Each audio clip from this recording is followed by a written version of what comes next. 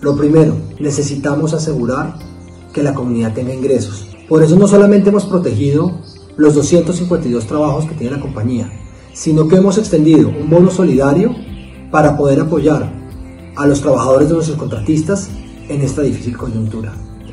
Segundo, la alimentación.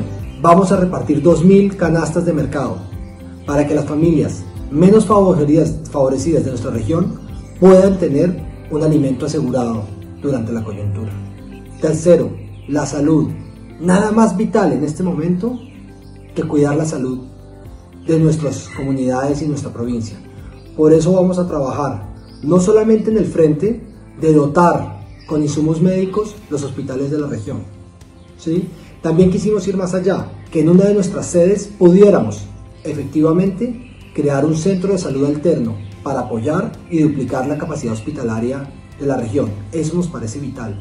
Y asimismo apostarle a la compra de test de COVID-19 para eventualmente poderlos llevar a Sotonorte.